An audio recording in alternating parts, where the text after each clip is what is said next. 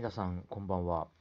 今日はですね、日本株ですね、下げました。えー私もかなりね、えー痛いですね。全部下がってます。で、その中で、今日ね、実はね、一銘柄買ってしまいました。これ、日本郵船です。はい。で、現在3318円。で、私買ったのは3309円ですね。かろうじてね、900円、含み益があります。はい。ちょうどね、お昼休みの間ですね、えー、ガーンと下がってますよね。えー12時30分のあたりですね。この時に約定できました。はい。えー今日はね、3300円前後、あ、3350円ぐらいかなと思ってたんですけど、それが5番に入って急に下がりまして、で、えー3309円でセットしてたんですけども、えー楽、あのー約定できました。はい。まあ、これね、えー要するに日本郵船は、高配当なんですね。はい。15.34。嘘みたいな話でしょ？で本当なんですよ。で、1株当たり510円。えー前期がね、510円で出しているので、同じだとしたら、えーまあ、ね、15%ですね。だから3300円のうち5万1000円、えー配当がつくというところですね。はい。で、これがね、業績をちょっと見ましょうかね。えーほら。あの、上がってるでしょ？上がってるでしょ？で、えっ、とね、えー去年はね、えー1450円だったんですね。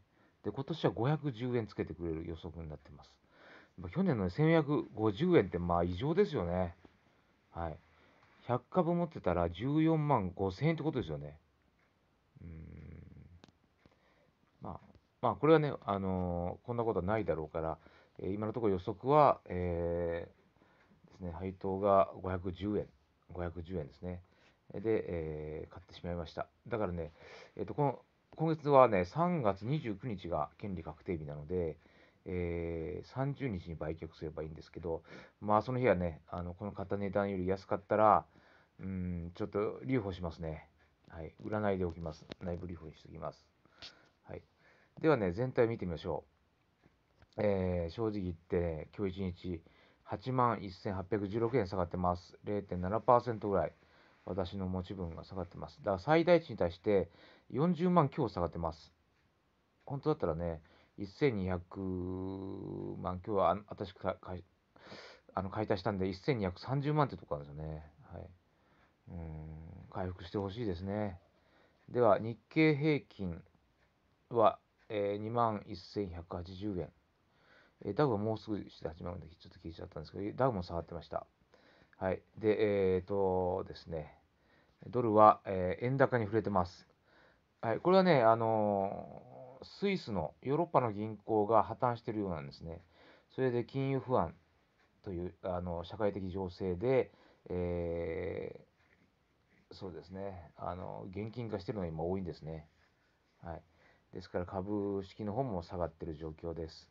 はい。ただね、あのーもう1週間もしたらね、えー要は決算、3月末まで待てば、これはもうなくなっ元に戻ると思い思うんですよね。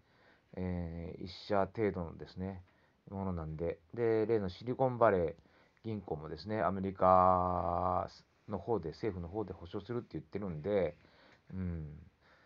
まあ、今回、今回はスイスのね、えー銀行は結構規模が大きいようですね。まだそういう発表はわかんないんですけど、え発表することによって、えーですね、えー織り込み済みであれば、えーリリーマンショックみたいな形にはならないと思いますね。はい。では、私のもう一回、ポートフォリオを見ていきましょう。今日はまあ下がったということで、えー全部下がってますね、ほとんどね。イオン北海道、まあまあ一瞬また含め益あるんでいいんですけど、ね、えーダメですね。ブックオフ、も大きく下がりました。えーあ、逆に、この時に日本ハウジング、上がってます。はい。えー、1日で2.4、2.4%上がってますね。はい。大きいな、これね。はい。えー、全勝下がってるな、もう。全部、全部ほとんどね、日産もさらに続けて、あ、これ、追加で買った方がいいかもしれないね、日産ね。うん、あとは、あ、日本郵政下がってますね。はい。えー、で、まあ、銀行関係ですね。日本郵政の場合は、えー、子会社に日本、あ、ゆうちょ銀行が入ってるんで、うん。はい。あの、下がってますね。やっぱり銀行銘柄ね、下がってますね。えー、S&P 下がっている。四国銀行。はい。まあ、そんな、ね、17円ですから、1700円下がっただけなんですけど、そんな影響は四国銀行。ただ、地方銀行ですよね。あの、シリコンバレーバンクっていうのはですね。なんか影響あるのかなと思ったんですけど、全然なんともないですね。はい。あとはね、西松建設。はい。うん、ね、郵政が下がってますね。任天堂あ、これはほとんど横ばいですね。ただもうこれ、もう本当に加減値ですね、5000円。あの6000円で買ったんで、はい。10万円近く、あ9万3380円ですね。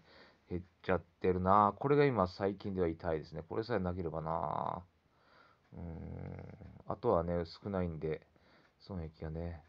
はい。ということで、今日はね、えー、日本郵船を買ったという話ですね。はい。えー、これ、えー、そうですね、海運事業なんでね、日本のライフラインですね。日本はもう石油から何かみんな輸入で、この船便を使いますんで、ね、石油を飛行機で運んでくることはないんで、船なんですよね。はい。これ、いろんな日本の加工食品は全部石油、ね、輸入に頼ってるんで、この仕事はね、とてもいいと思うんですね。で、あと、えっ、ー、と、例の、ね、感染症で、えー、海外旅行が行きなかったんですけど、それがまあ解除されて、えー、中国から、え日本へ旅行に来る方もいますので、あの日本経済もね、これでどんどんどんどん良くなっていくと思うんですね。ただ今、そのね、金融不安がちょっと出ちゃってますので、地方アメリカの地方銀行ですね、えー、それに引きずられて下がってるような感じです。はい。ではね、あの今日のね、えー、株式報告でした。以上です。